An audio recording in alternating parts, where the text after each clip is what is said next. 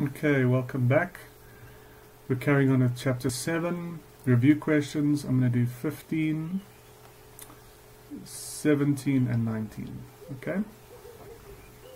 Alright, so how are the acceleration and inertia of an object 1, okay, acceleration and inertia of object 1 related to acceleration and inertia of object 2 when the objects collide, A, elastically, and B, inelastically. Okay, so again, I just encourage you, try it on your own. The, the more you try, the, the more you know what you know and what you don't know, and then you can know what you need to focus on. Okay?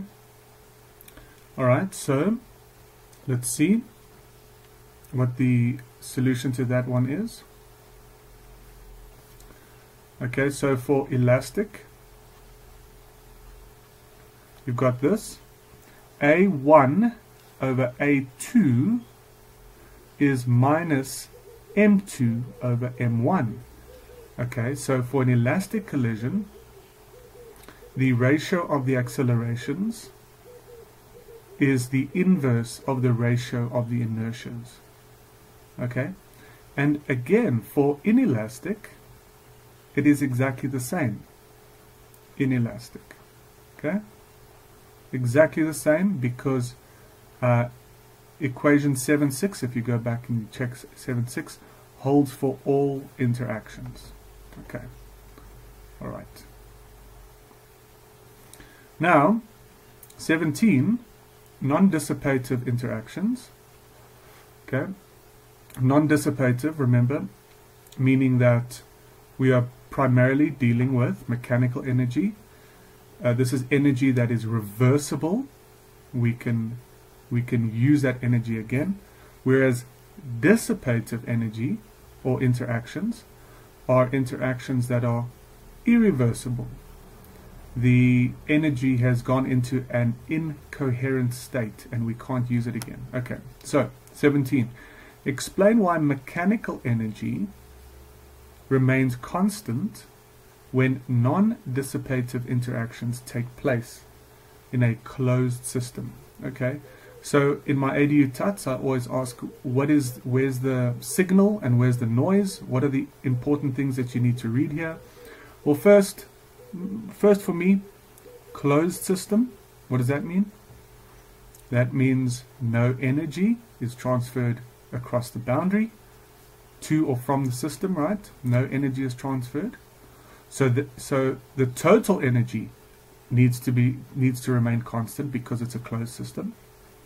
Okay? Then mechanical energy, there's a lot of information in that. What is mechanical energy? Remember mechanical energy, we're dealing with kinetic energy and potential energy. Okay? Uh, gravitational potential energy.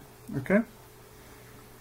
Uh, well, actually, any potential energy, not only gravitational potential energy, any any energy where we are storing energy and we can regain it again. So, you can have the potential energy uh, gravity, meaning you lift it up and you increase the potential energy, or you can have a spring that you compress, you compress it. Okay, so it's compressed. You're storing the potential energy.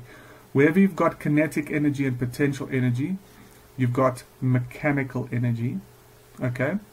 And this type of energy is reversible. Okay? And it's non-dissipative. So explain why mechanical energy remains constant when non-dissipative interactions take place. Well non-dissipative interactions mean that we have reversible um, energy right? Reversible interactions. And the only type are mechanical energy mechanical energy. So let's see what they say.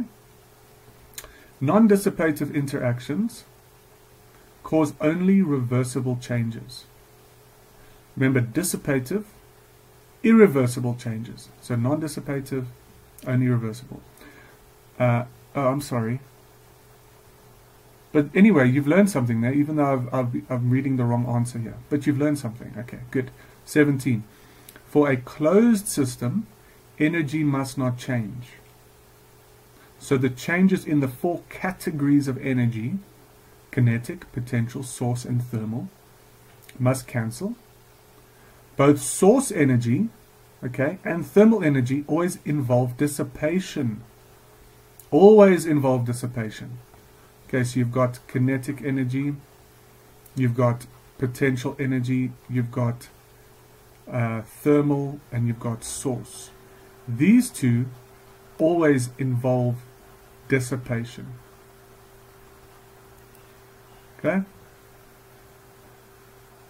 So if all the interactions are non-dissipative, only these two, only kinetic and potential energy changes are possible, and they must add to zero. Okay? Mechanical energy is the sum of kinetic and potential energies, and hence remain constant. So here's our mechanical energy. Alright? Good stuff. 19. An object subject to only non-dissipative interactions moves from point A to point B and then back to A. A to B, back to A. How does the object's initial kinetic energy compare with its final kinetic energy? Okay, so what do you say there?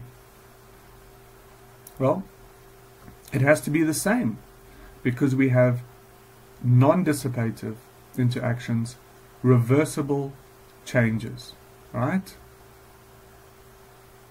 So because of the reversibility of changes due to non-dissipative interactions, the initial and final kinetic energies must be equal at the common position, point A. All right? Cheers.